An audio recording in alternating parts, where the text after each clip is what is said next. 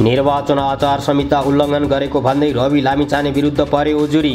नेपाली काङ्ग्रेसका उम्मेद्वार जितनारायण श्रेष्ठका प्रतिनिधि ध्रुवराज पोखरेलले गराए दर्ता। चितौन दुईमा साठी प्रतिशत मत खसेको प्रारम्भिक अनुमान। मङ्सिरमा सडसठी दशमलव छ तिन प्रतिशत मत खसेकोमा अहिले साठी प्रतिशत मत खसेको जानकारी। बाह्र दुईमा साठी प्रतिशत मत खसेको प्रारम्भिक अनुमान। मतगणनाको तयारी भएको निर्वाचन अधिकृत मुकेश उपाध्यायद्वारा जानकारी। तनहु क्षेत्र नम्बर एकको उपनिर्वाचनमा बाहन्न प्रतिशत मत खसेको प्रारम्भिक अनुमान। एक सय बाहन्न मतदान केन्द्रमा शान्तिपूर्ण र सौहार्द वातावरणमा मतदान भएको जानकारी।